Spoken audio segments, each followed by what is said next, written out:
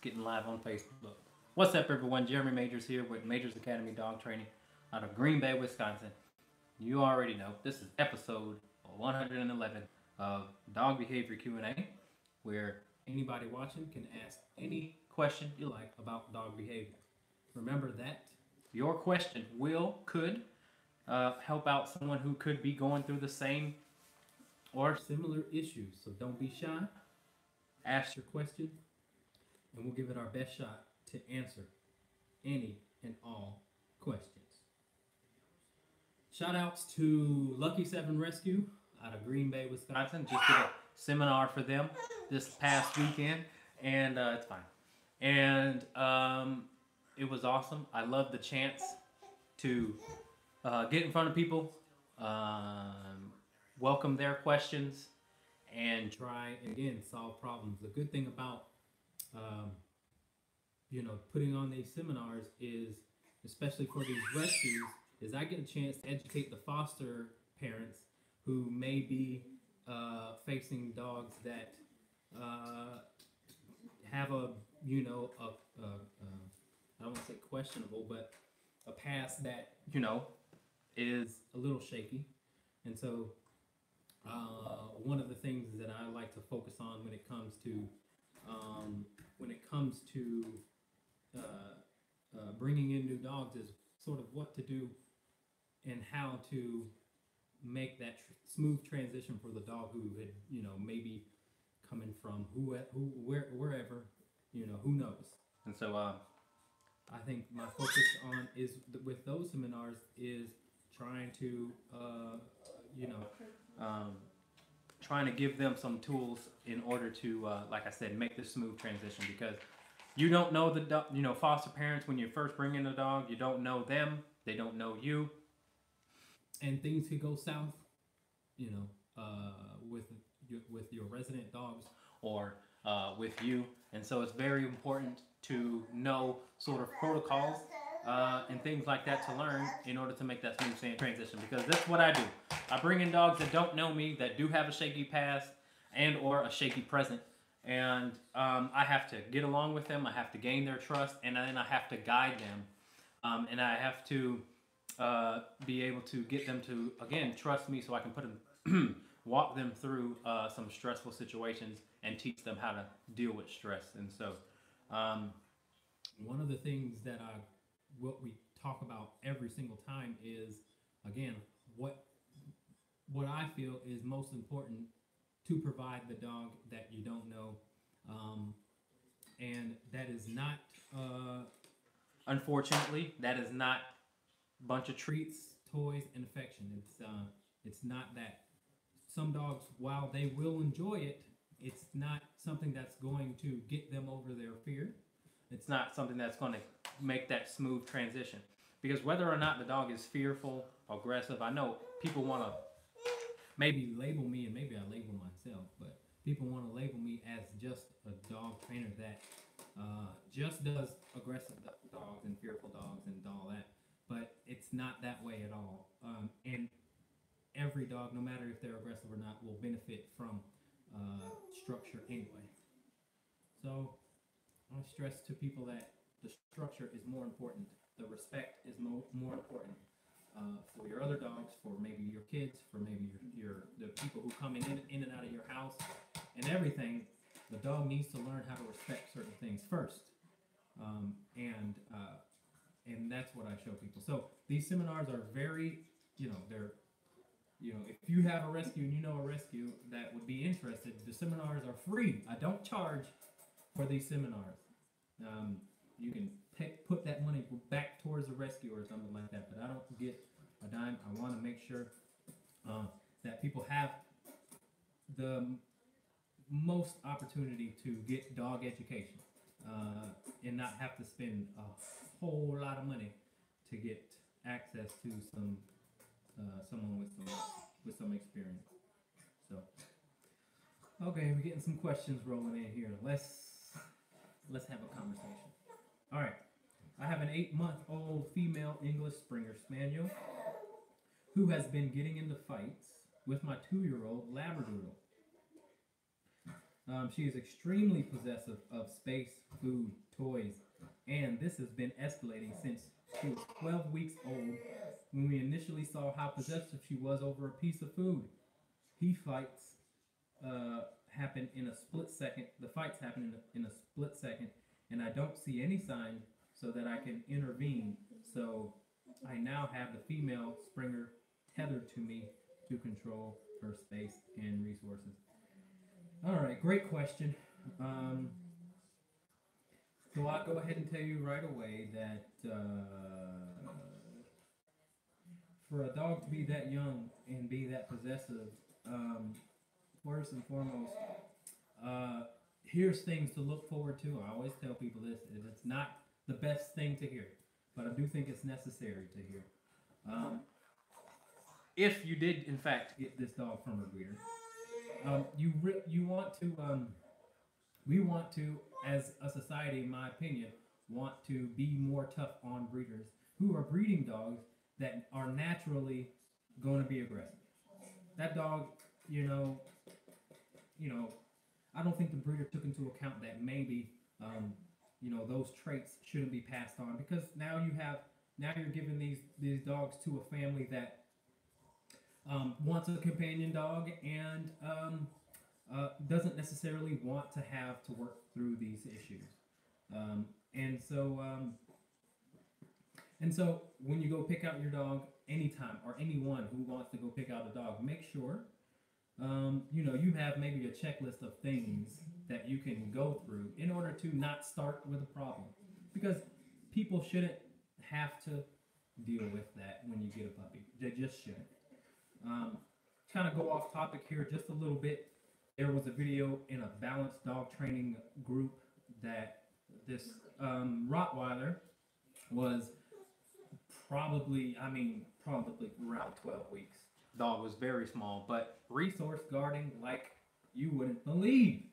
Um, the owner was petting the dog, and uh, and even the cameraman, the dog was like looking at the camera and then you know growling and just face over the bowl, you know, at 12 weeks old, you know, that's just ridiculous. It only speaks of, you know, the in my opinion, we gotta we gotta be tougher on these breeders for breeding dogs like that. Who the hell wants to deal with a dog that's going to become 100 plus pounds and you got to deal with stuff like that from the get go?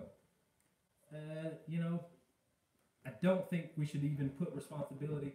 You know, everyone on that on that video was commenting on the video, um, scrutinizing the owner. Okay, yeah, well, it's not very much so public knowledge that you shouldn't be able to pet your dog while feeding. Um, but it's not something you should be doing. Okay, but at the same time, no dog should be acting that crazy while you're doing that. That dog was just super intense, and Rottweilers are obviously known for that. Um, and so, coming back to full circle, before I answer your question, I'm sorry this is taking so long, but um, we got to be tougher on breeders. That's how we're going to be able to keep dogs from going to the rescue or um, um, going to the humane society or shelters and stuff like that.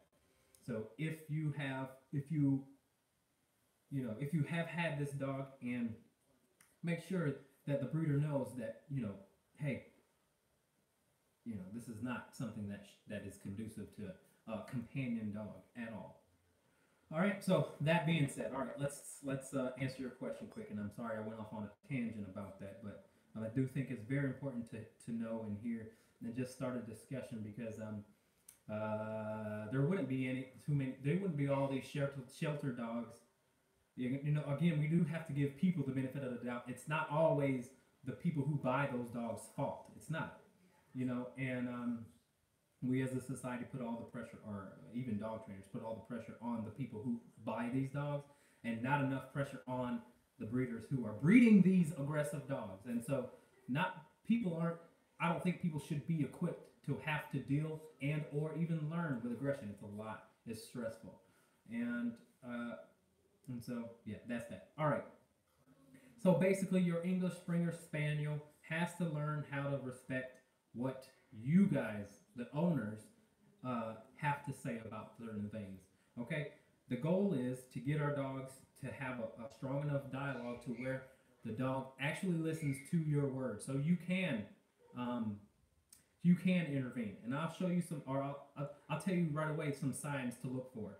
Body stiffness. Okay, when the dog is resource aggressive, and they're and they're getting ready to, um, or they're they're in within the resource aggression or getting ready to fight or whatever.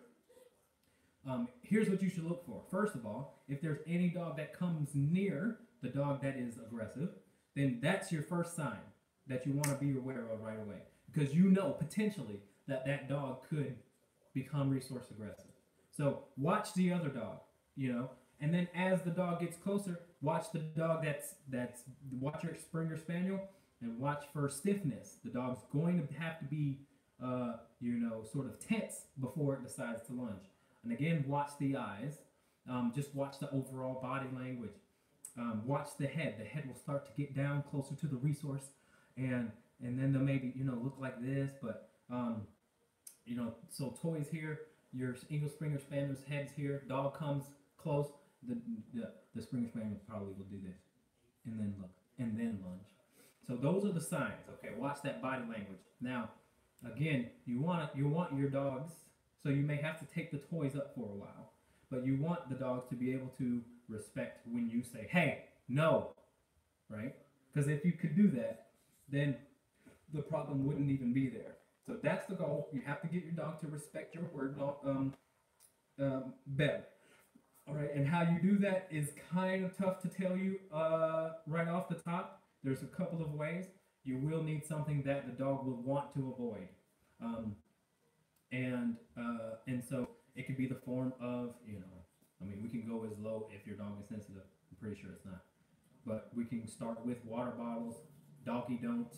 Um, that's a good tool. E-collar, something like that. Um, although e-collars is very tricky, I shouldn't really promote um, just the use of that without training. Sometimes, um, sometimes things could go really wrong if you aren't using a professional. So I would maybe uh, check out to see if you could get more advice from a um, from a professional because those are those are some deep rooted uh, aggression and, and again it's something that I in my opinion comes from you know genetics because the dog has been doing it since 12 weeks it's like um, uh, and so uh, it, it, could get a little tricky but I hope that answers your question some slight it's not I can't give you a definitive answer because I don't know the dogs and I don't know how sensitive they are um, and if I once got to know them a little bit better then maybe I can give you more of an answer but but uh, but uh, check out my YouTube videos. There are many different videos on how to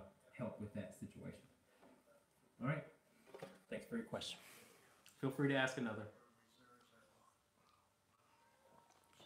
Okay, they rolling in now. It's Wednesday. It's hump day. All right, I have a one and a half year old Vizsla that is occasionally showing aggression when he is stopped from doing something and he has bitten. Uh, all right. Well, here's the deal. When it comes to biting, dog, the dog is going to make a choice whether it's worth it for them to bite. But they can also not make a choice if they don't think it's worth it for them to bite. So uh, ultimately, you have to punish that dog um, to the point where the dog says, "All right, I don't want to do that again." because there's nothing more organic than uh, that situation when it comes to dog to dog education. Dogs have no problem educating other dogs the way that they do it. Um, and so, again, you will have to punish that dog somehow um, and to get the dog to realize that that's not a good choice because it is a lack of respect. It's like a child slapping their, their, their parent uh, because the child says, hmm, there's nothing going to happen to me for it. I want what I want. And if you try and intervene, then I'm going to bite you or I'm going to slap you. That's the attitude of your dog. So it's pure, coming from a pure place of attitude, brattiness. And and so in general, you can help with that situation on an overall scale by being tougher on the dog in all other ways. Go through a checklist. Is the dog allowed to jump? Is the dog allowed to? Is does the dog bark all the time? Does the dog is the dog allowed on the furniture? Is does the dog uh, uh, is allowed to do? Just try and think about how much choice that dog gets to assume it can have, or how much freedom the dog uh, assumes it can have, and then you want to um, start eliminating those things because the more the areas where the dog, um, the more areas where the dog has to listen, the more easier it is for them to listen where and when it really matters. Uh, like you're stopping them from doing something. So pure brat sounds like, um, and you will have to uh, sort of, you know, have an intervention with that um, bratty Vizsla of yours. All right. Thanks for your question. Feel free to ask another. April says, "Hey, if we can't board our dog, what's your opinion on being able to take vacations without bringing your crazy dog? We only have one person that can watch Zeke and feel like we can't leave and take a family vacay because we're ruled by these crazy dogs. And you're not in Atlanta anymore, so that's that. Uh, yeah, I would hire someone who can handle that dog.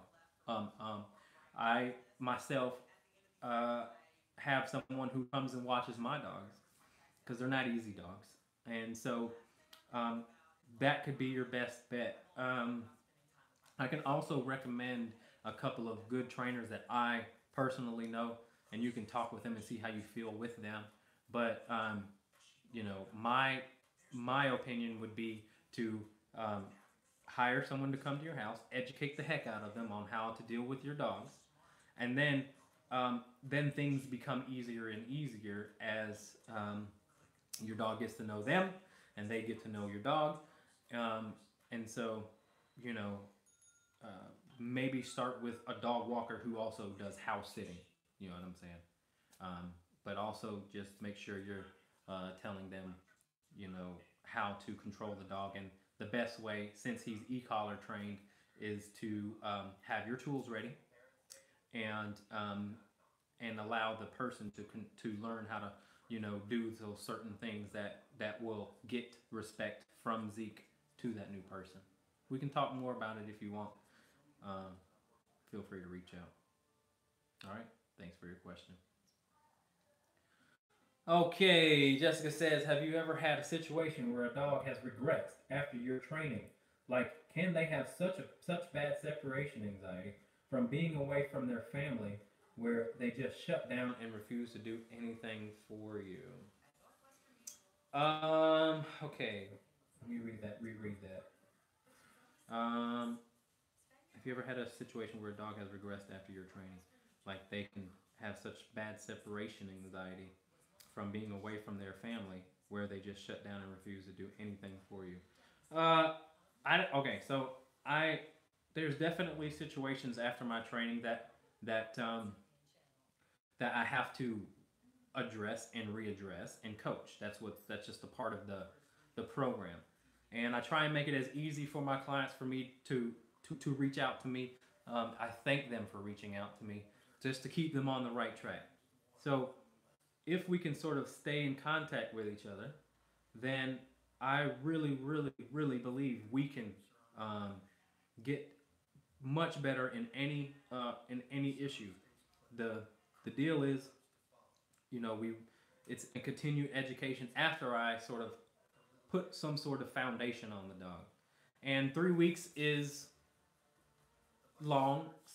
You know, it's I could ask for more time and really get a set a good foundation, but some people just you know three weeks is too long for them, or you know, and so anything more than that is also you know kind of hard to ask. Um, but if your dog is shutting down and refusing to do anything, then you know that's sort of also can be coached out of the, out of the dog as well. Um, it really can. If a dog is refusing to do something, it's still trying to, you know, manipulate the situation, in my opinion, to the dog's favor.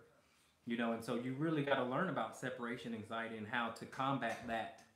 Um, because uh, you know you could really be feeding into it if the dog shuts down and you allow the dog to shut down and you don't know how to coach him through that that could be feeding into the separation anxiety so that's what i'll say that's a quick little answer but um, but yes, I do believe that um, you know we can continue to move up and forward and better um, with my training if um, we stay in contact with each other post training.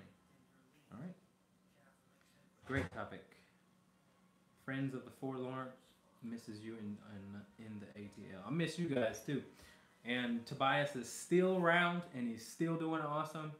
And he's like the best social dog ever. I never knew he'd be that dog, but he really gets into every single dog and makes every single dog feel very, very safe. So it's awesome. All right, next question. Okay, Megan Lewis says, How do you stop a dog from growling and going crazy when he sees another dog from across the street? Uh, let me ask you this, Megan, and I'll come back to you once you answered it. So let me ask you this Is it in the house or is it on walks? Because I can give you an answer. I could give you both answers right now, but let's just be more specific so that because we got these questions rolling in. All right? You're very welcome, April. All right, next question. Uh, okay, this is who I was talking about. Check out his page, his hands on with every dog that comes through with his facility. Oh, thank you for that. I appreciate that. It's more of a recommendation. Happy th- Thursday. Sarah, it's Wednesday, by the way, not Thursday. I usually, I used to have my shows on Thursday, but now it's Wednesday. All right, let's answer some questions on the other social media stuff. Okay.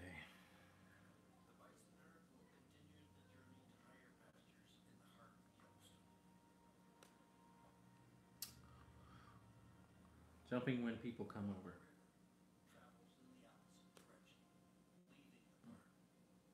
Place command. Yeah, someone answered it for you. And people, when you have a, if you have a dog that's jumping when people come over, the dog has got to be told what to do in that moment, and you can help the dog out by telling the dog what to do when people aren't over. You know, as in it will help the dog listen a little easier.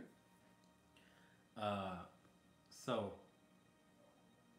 yeah, someone answered that for you. Okay. Next question. Do you ever use muzzles in conjunction with training while working on human slash fear, human fear slash aggression as a temporary added protection for when the dog is meeting slash greeting new people? Uh, I don't personally use muzzles. And I'm gonna tell you why.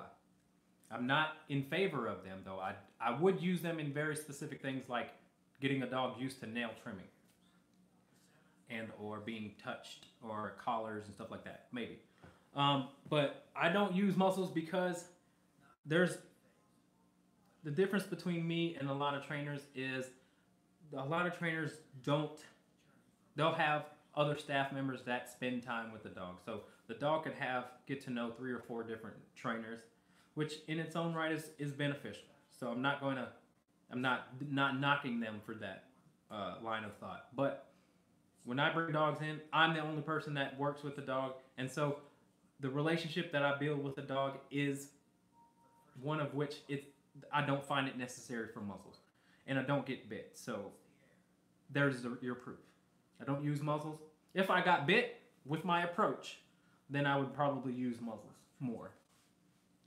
But so I don't use muzzles um, because I work with the dog. I mean, I have I, I establish a pretty good relationship with the dog. Um, but to answer your question a little further, temporary added protection for when the dog is slash meeting and greeting new people. If the dog needs a muzzle while meeting and greeting new people, in my opinion, the dog should not be meeting or greeting new people. Not ready for that yet. The dog should still be learning how to listen to you better because that's more more important. The muzzle is and can be something that throws off or withholds or delays learning because it's a factor that they have to get over in this already stressful situation. Um, and so you have to work through the muzzle conditioning part. You know what I'm saying? it's a factor that could cause frustration. Um, again, not saying that it's not effective. So I am in favor for it. Is I'm talking on a personal ex- in a, on, on a personal level. Um, I don't need them because again, I'm having my dogs listen to me very well, and I'm having the people that I'm introducing the dog to listen to me very well. So I'm controlling the environment for the dog so that the dog doesn't need to bite. And once you learn really good body language, then you're you're you're you're more likely to let that aggressive dog go up to them. But that's the key. I let my dogs that I'm working with go up to people when they're ready, and not not. But after a certain uh, uh, amount of time of control, after that, yeah, that's that. Muzzles are good. Okay. Okay. Next question. Our rescue Molly has noise phobia. I was hoping that with consistent obedience training, give her her job, this would be better. Today, our seven-year-old son was playing with his light slash saber sword thing. Even though he wasn't near her and wasn't aiming it at her, she completely shut down. I'm trying to act as if nothing is wrong and feeding and not feeding into her insecurities. She is still, even after I made him put it away, hiding in the bathroom. Should I allow her to hide out in there, even though he put his toy away, or make her go to her bed in the living room so she can see there's nothing to be afraid of? It's a, it's been a good hour of her acting scared, walking around the house with her ears back and her tails tucked. Wow, that's some strong, that's some strong, uh, that's some strong fear for sure. Um, but I would, I'd put the dog in place, and then um, see if you can work through it. Um, no, it, it it does matter how close you get with the anything that the dog is scared of.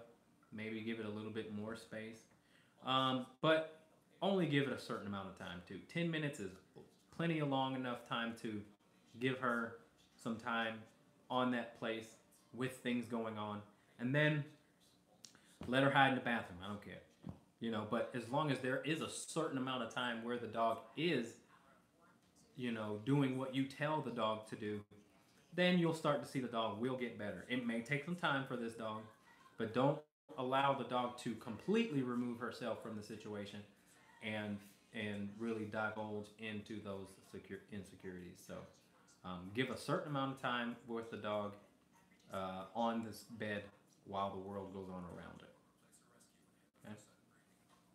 Thanks for your question. Okay, the eight-month-old Springer Spaniel I asked about earlier was social was at socialization class at 10 weeks old and has been through basic obedience class and I'm starting e-collar training with her. Obedience, while she is great, but it's her reactive possessiveness that I'm having trouble dealing with. She also has separation anxiety, which we have been dealing with since we brought her home at eight weeks. I don't think this is a case of bad breeding, but at this point, it is just a lesson learned. Any advice for the separation anxiety issues we are ha also having? I do have a balance trainer coming to our home to evaluate Friday. Okay, uh, well that's good. It, socialization has nothing to do with how the dog is going to act at home. Well, a little to do. So the dog can get along with other dogs because it has no reason to, to be a brat over there and the other dogs and stuff like that. Um, the problem is, again, I'm going to re-emphasize that the dog needs to listen to you, you and your commands.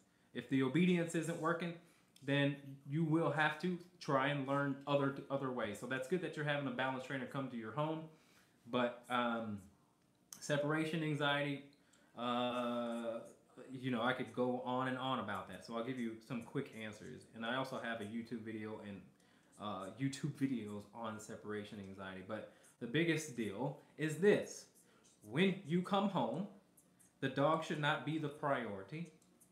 In fact, you should give that dog a job to do when you come home. If it's in the crate, tell the dog to lay down in the crate, walk away until you hear, don't hear um, the dog at all. And you really want to be able to walk into your house and you don't hear or see the dogs necessarily. If you're saying hi while they are um, excited, anxious, whatever it may be, then you're feeding into the separation anxiety.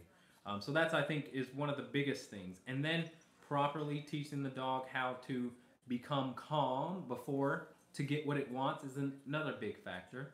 No matter uh, what it is, like the dog should be able to sit down and look at you, not you asking for the eye contact, but it actually given to you on its own before going through a door or before letting out of a crate.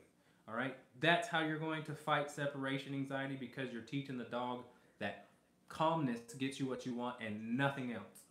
And so um, sometimes those things take time to really be able to settle their mind in, but the dog should not be um, allowed to uh, get what it wants in a in a nothing but in anything but calm mindset. And that's how you combat separation anxiety. Do not make it a big deal that you've been gone. So don't really make her make her more excited when you come home, and don't make it a big deal when you leave. All right. Good luck with that trainer. I hope they, they can help you out. And thank you for your question. Okie dokie. Um, what do you recommend for dog food? And what uh oh, where'd it go? And what should we be looking for in a good quality food? It seems there are so many choices nowadays. Uh, I don't know. Uh, as long as there's not any, um, someone on here could probably answer this better than me, but as long as there are not any byproducts in the food, um, you know, then there's maybe plenty of food that could help, that could work with your dog. Um, but your dog tells you also what's best for him by the what their stool looks like, what their skin looks like, what their teeth look like, um, and so there's it kind of depends on what the dog, you know, how their system responds to it. Um, but I would say by anything that says byproducts, so you'll have chicken byproducts and stuff like that. Those you definitely want to stay away from. All right. Thanks for your question. Hope Sammy doing all right. She's an extreme case with her fear. That is that does definitely sound extreme. Wait a minute. Is that the dog I came I came and saw? That dog has strength extreme. Oh, didn't, didn't couldn't uh, couldn't tell by when I met her. All right. In addition to leash aggression question above, do you always crate dogs when you leave them alone? Um, no, I don't always crate dogs when I leave them alone. Did you ask a question that I didn't answer? Let me see. Oh, I'm sure this is a rookie question, but leash aggression. I have two Vizslas. What's up with all these Vizslas? I'm training three of them right now. What's going on here? All right, I have two Vizslas, and they are wonderful off leash, but lots of humans are uncomfortable with off leash dogs. So I leash when approaching other dogs and my older dog is just pissy with it. Uh, okay, so leash aggression is, is is another really broad topic I could go into details with, but I will just keep it simple. When it comes to leash aggression, you must get the dog to heel, loose leash by your side. Because when you do that, you're taking control of their mindset uh, and you're kind of showing them that no matter what's going on, you must stay by my side. And then when you facilitate that consistency, the dog then the dogs will make better choices because they'll see a dog, they'll try and pull, which again is against the rules at all times, and then you'll pull them back and they'll make a good choice to stay by your side as opposed to lash out at those other dogs. So that's leash aggression uh, in a nutshell. You have to sort of say this this is what you're doing. This is a safe area, and there's no need for any of that bullcrap to go on. And if you don't, you know, um, then we have to give you a correction. appropriate enough to get you to continue to heel uh, by your by my side. Cheers, B.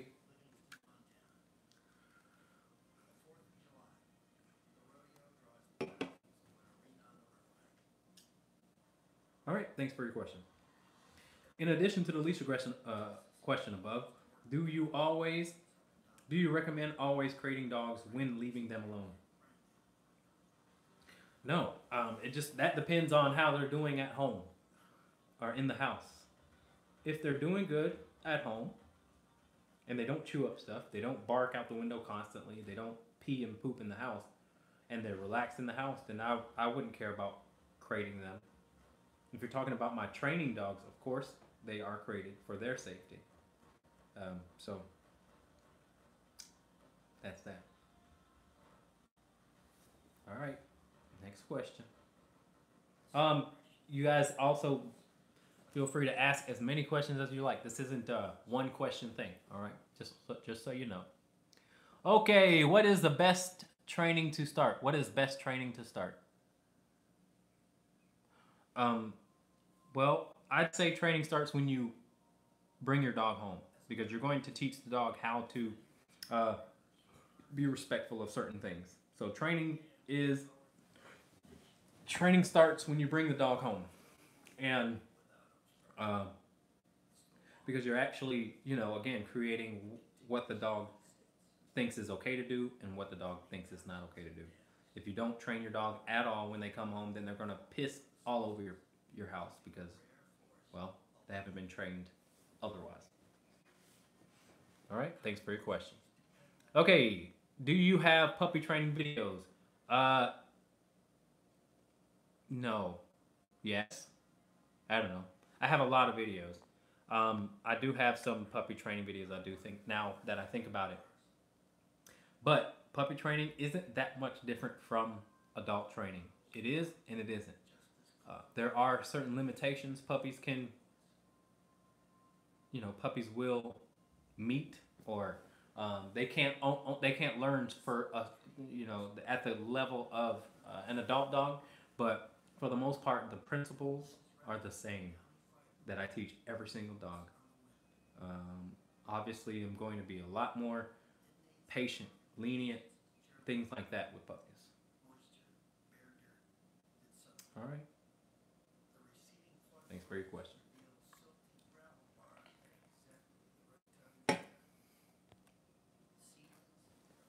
What do you think about American bandog?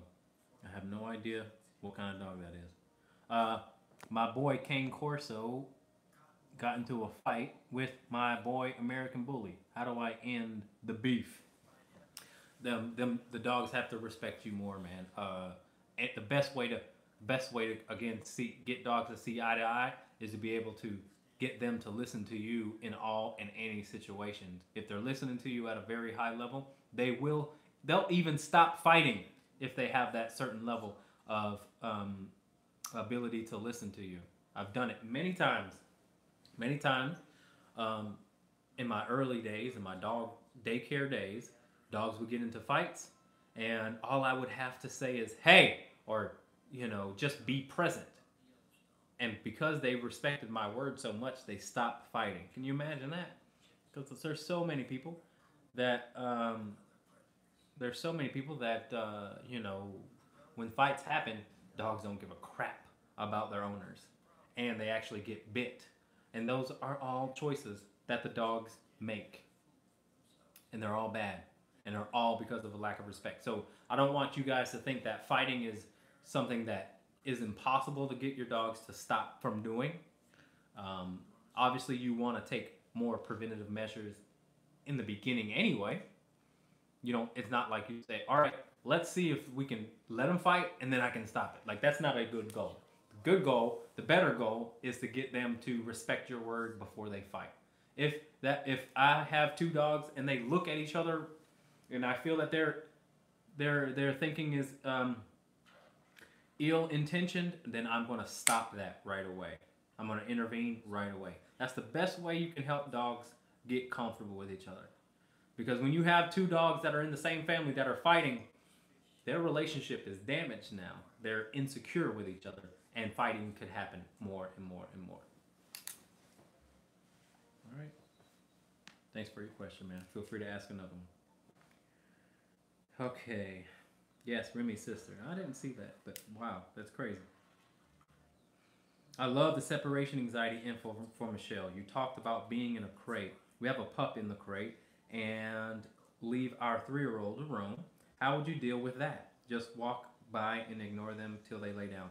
Um, yes, you could try that approach. That is one approach. You may be may be waiting for a while, depending on the temperament of your dog. Uh, what works for me is a little bit of both. Sometimes I wait the dog out. Sometimes I give the dog a job to do. Sometimes I'll walk right over to them and I'll say, lay down or sit. And then once they sit, count to five and then walk away. Pretty important to count to five. Um, because if you just sit and walk away, they'll just stand right back up. But you want to let them settle in that sit. So tell them to sit, count to five, and then walk away.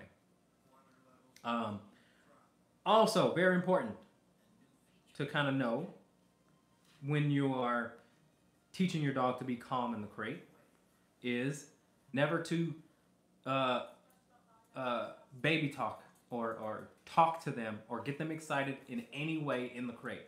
The crate should be a place of relaxation. The best way to facilitate relaxation is to sort of be just authoritative with your talk in the crate to help realize that the dog must be uh, listen and must be calm before it gets what it wants, which is out of the crate or your attention. And so teach the dog to be calm before you give them what they want. All right? Basically, where do we start so she learns to listen to us right away? Uh, let's see. What would be some good training tools for a 10 month old pit? Um, I would say get the walk right. Um, crate train the dog to where the dog is very calm and quiet in the crate while you're home. Spend time. That's the other thing about that separation anxiety is put the dog in the crate while you're home so you can teach the dog to be calm in the crate. The only time you're putting the dog in the crate is when you leave. Then you're leaving that opportunity for the dog to amp up. All right, so more crate time while you're home um, maybe after a walk. This is the other thing, guys. Very important. Make sure your dog is exercised before you ask the dog to be calm, especially for a young dog.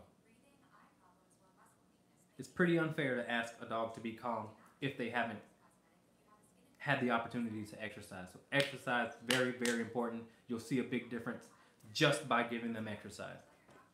You may not even have to you may not even have to uh, really do some training if you get if you give them that exercise because they will give up much quicker and be calm when they're properly exercised. So sometimes half the battle is getting up every day, taking your dog for a walk. Not just putting them in the backyard and just letting them run amok. I'm talking about mental stimulation. That's going to really tire them out as well. Mental stimulation. Thank you. The crate question was in follow up of the anxiety question earlier, giving them a job instead of greeting too excitedly. Yeah, I hope that helps for you. Okay. Uh, my sister and I have dogs from the same litter. They don't live together but see each other often. They're very well behaved when they aren't together. But when they are together, they are sassy, barking at nothing, uh, taking stuffing out of the comforter, anything we can do to help that. Um, so you're saying that they don't bark like that when they're alone? And they don't take stuffing out of the comforter comforter when they're alone? All right. Well, if that's the case, um, uh, then that's fine. When they are together, though, here's a great solution. When they are together, every 10 minutes, put a leash on them and let them settle down. Okay, because it's very important that they can learn how to control their impulses while they're together. I'm working with three Vizslas right now, and they have issues within the dynamics of them. So the female, I have the mother, I have a, I have a the a pup, and then I have the pup's mother and father, and so the female, they're all they all have sort of um, attachment issues um, between each other, and so it's it's important for me to uh, spend enough time with them alone, but also spend enough time with them together because they have a codependent relationship, which can be not healthy because they tend to forget everything else and show obsessive behaviors within each other. So, um, so just today, I put I had the mother and the father out at the same time. The mother does not allow the male uh, to do anything else to do anything without her. And as a matter of fact, I grabbed the leash and let the male um, go pee, go poop, and the female just sat there, looked at the dog, looked at the male, and whined the entire time. That's not healthy. You want to be able to have a, a certain level of autonomy to where they don't seem codependent from each other. Okay, and so when when your dogs are together, every again, right away, the first thing that you should do is maybe control both of them so they can calm, and then let them play and do whatever, and then if their play or their behavior becomes something that you sense is out of control or obsessive, that's when you wrangle them back in and give them another five minute break or until they lay down and or indifferent to the situation. Then you bring them again. What you have to do is help them gain the ability to control their impulses within the within the dynamic of their relationship. Very important. Because some dogs get really sick if one dog dies or if one dog goes away, and you don't want to you want to avoid that. Um, but that that that happens more so with dogs that live with each other and just do everything together. Okay, so contrary to what a lot of people think, you should spend individual time with all of your dogs as opposed to spending all the time with all dogs. All right? Thanks for your question. Feel free to ask another. Woo-wee! Y'all making me think tonight. Okay. Joe Biden is a child molester. Man, YouTube can get crazy. I'll ignore that. Okay, my dog attacks dogs that yelp at the dog park. He is silent without warning. He will not stop. it's very scary and he does great otherwise. Should I stop taking him? Uh, no you don't have to stop taking him, but what you have to do is intervene in that situation. Your dog's trying to be controlling of what he seems, what it seems to be something that's out of control. And so you will have to intervene somehow. The best way to do that is to have an e-collar because you can correct your dog from far away. Now I'm not saying shock the hell out of the dog. Don't don't I'm never ever saying that but you have to give the dog the appropriate level of correction to where he wants to reconsider his actions. And and then you don't have to even address it again. You know, sometimes it could just be a one-time fix, but the dog does need an intervention at the moment where it does want to get controlling. I've dealt with that with so many dogs, um, and they just need a little bit of intervention uh, right at those moments so the dog can learn that it's not necessary to do. It doesn't have to do that. You don't have to be controlling. I'm in control of you. And then the dog learns, again, how to control that sort of impulsive behavior. But when it comes to impulsive behavior, there are other ways and other areas where you can help your dog learn how to control his impulses. It's not always about the same particular that that that area it's not about that area where the dog struggles the most or where the dog is going to cause the most harm.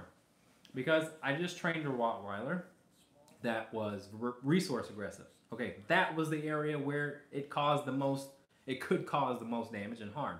But we also learned that the dog was aggressive towards the vacuum, aggressive towards the broom, aggressive towards dogs who, like your dog, um, when another dog plays too rough or gets vocal, the dog wants to go over there and address it.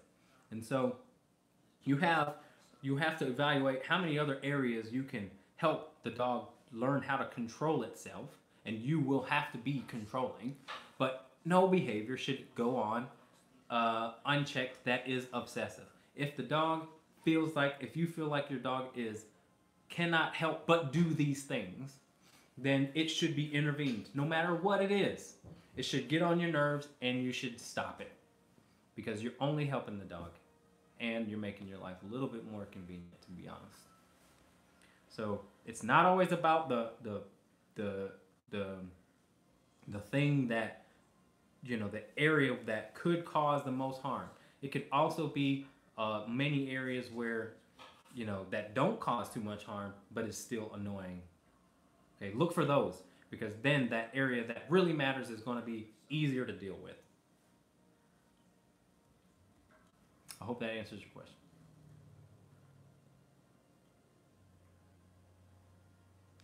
Okay, any recommendations for barking when other people enter our home?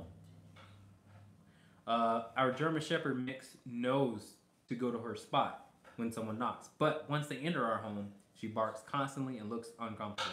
It will take 10 minutes or so for her to calm down. Um, so, so you have to have, if you're not already working with a training tool, you have to have a training tool um, to get the dog to go to her spot when someone knocks. All right, and so this is how you can help make it a little easier. Oh, make it a little easier for the dog to respond to you. But why don't you guys work on the knocking, and you guys work on opening the door, and then having her go back to her spot. But again, if the dog is constantly getting up, then that means your corrections aren't there or aren't enough. And you must then give the dog the appropriate level of correction to where the dog says, All right, gotta listen to you. Despite what I want to do, despite what I feel like I need to do, I gotta listen to you.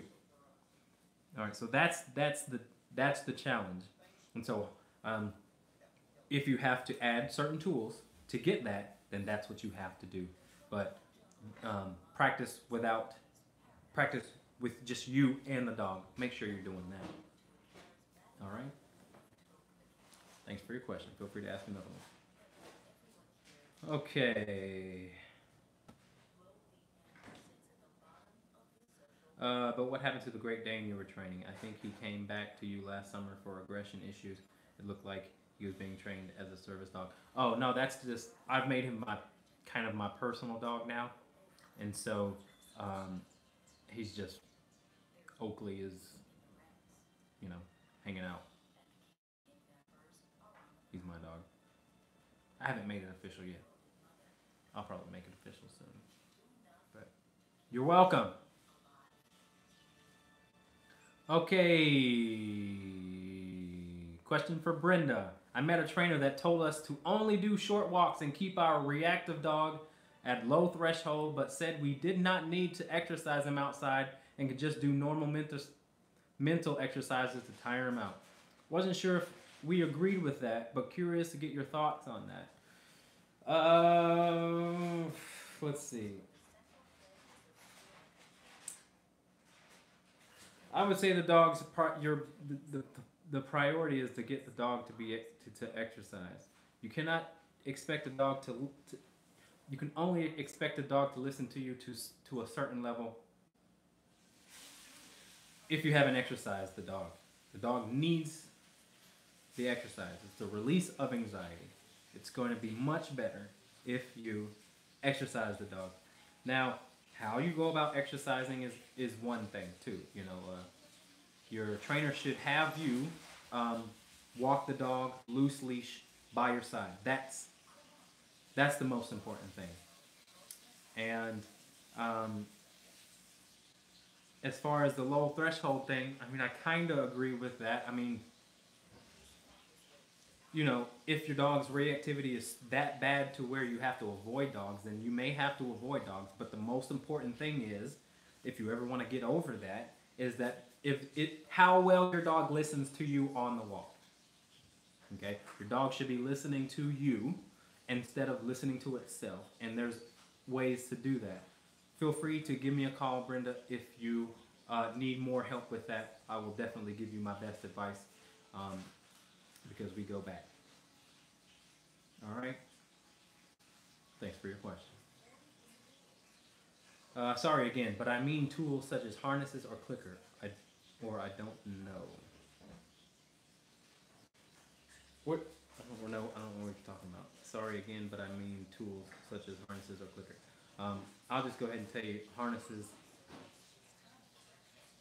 If you want your dog to pull, then you can put a harness on your dog. Sure. And a clicker is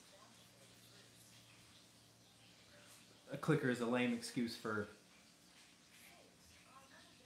trying to get the dog to listen to a clicker than than you. So um, a clicker is good for trick training. If you want to train your dog to do tricks and you need to mark a certain behavior, then clicker is good. But what's to stop someone to, from going, you know, making a really weird noise quickly? I think the clicker is could be just something that you always, you know, it can be an inconvenience. You can just say yes as a substitute for what the clicker is actually doing. The clicker is to mark behavior, right? And so you want to mark your behavior, you just say yes or good or or whatever, whatever it may be. Um, so I don't use a clicker. And I definitely don't use harnesses. Only if I'm teaching a dog, you know, protection work or, you know, so that's that. You're welcome. Brianna says, "Hey, my dog is crazy." That's it. He's literally just crazy, as in he may be missing a few screws. Yeah, well, he's a Belgian Malinois, so there you go. Uh, feel free to reach out. Maybe I can give you some tips. But I know you got I got I know you have your handful with that boy. So I see it. So keep up the good work with what you're doing though. I really admire your work. You're welcome. All right. I have a 6-month-old German shepherd female uh, a one-year-old female German Shepherd, and an eight-month-old German Shepherd male. They're all they're all altered. The younger two are rescued. The male can jump on the two females and take away their toys, no problem. But if the younger female tries to take anything with the older female, they will fight. The younger female has a lot of energy and is toy possessive with the older female. The younger, the two younger dogs are in manners class. Yes, we go for a two mile walk every day through a wooded area. I still use the prong collar on their walks. We live out in the country.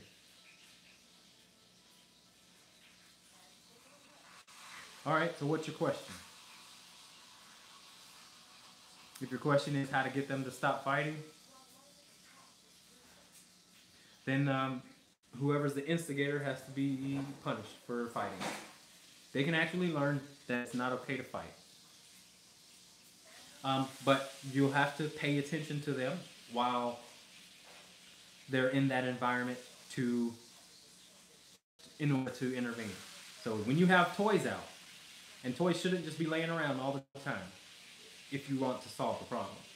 If you want to solve the problem, then you have to take some time out of your day, put the toys out, and then have the ability to um, correct the dog's behavior, uh, the one that's again giving you some problems. But um, because you can teach a dog to share.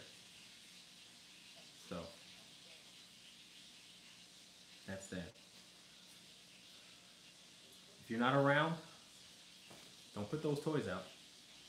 That's just my opinion. All right? Thanks for your question. Feel free to ask another one. Okay, let me get back to. All right. Whew. Y'all making me work today.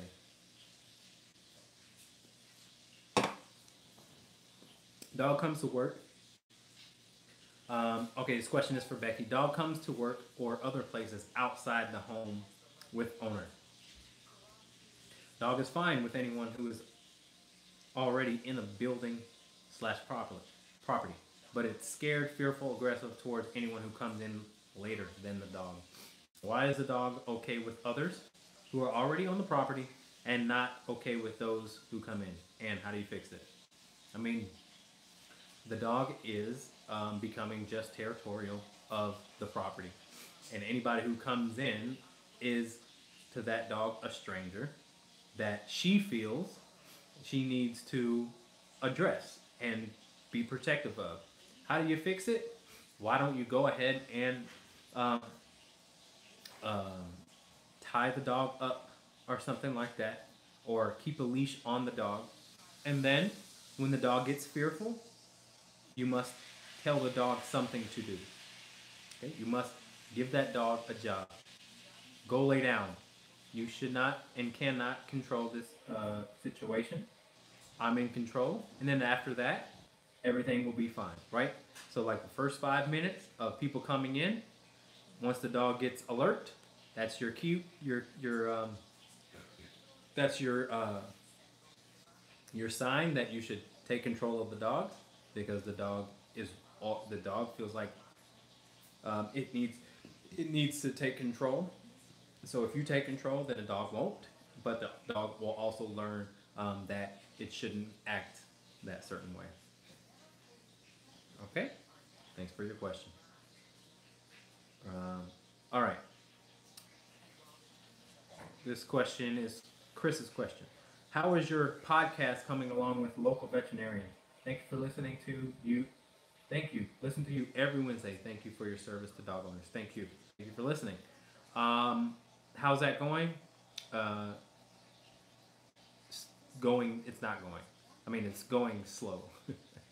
I've got to get some equipment and things like that yet. I gotta. I gotta set up. I don't know if I want to. I don't know if I want to do it at my home or thinking about renting out uh, an office to have my podcast um, there, and uh, so so that's that.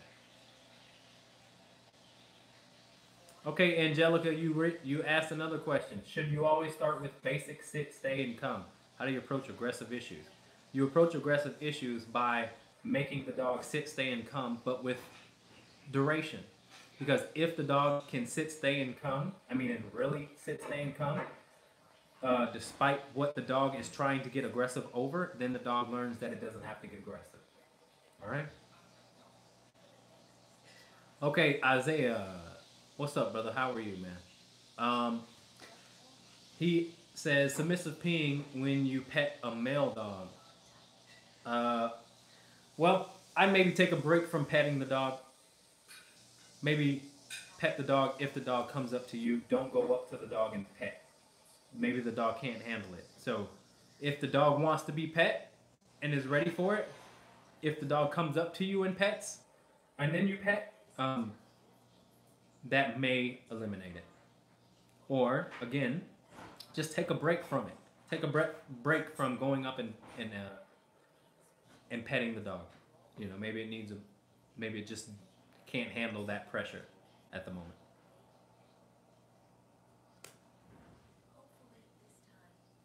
All right. Thanks for your question. Okay. Let me make sure I got all the questions. Yep. Got them there. Okay. All right, you guys. Uh, I think that's it. Any last questions? You guys better, you know, put them in, type in, type them in, do all that good stuff because uh, it is eight twelve, and we had a good discussion. Um, so, all right. I'm gonna take a drink, and if there's no questions, then we're gonna sign off.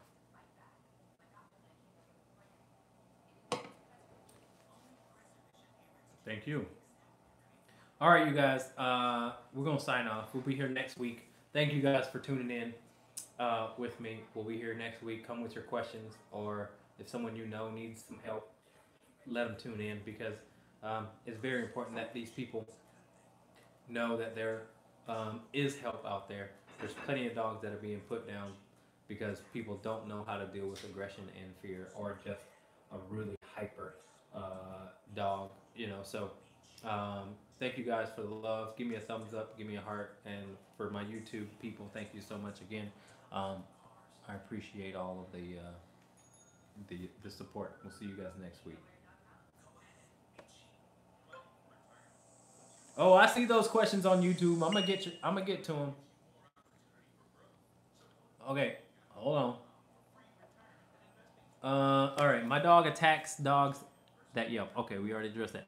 What what will get an e-collar? Thank you. Should I use the in-home? Should I use that in in-home stranger aggression? Yeah, you can. But remember this: that the, the e-collar is only there to um, to proof what it already knows. So teach the dog without the e-collar and then proof it with the e-collar. You can't. You don't want to teach with the e-collar because it may just um, be too much. Okay. And so very important. I've got e-collar videos um, on my YouTube channel. Make sure you um, teach the dog what you want the dog to do before you put that e-collar on, and then that's how you proof um, those commands. All right.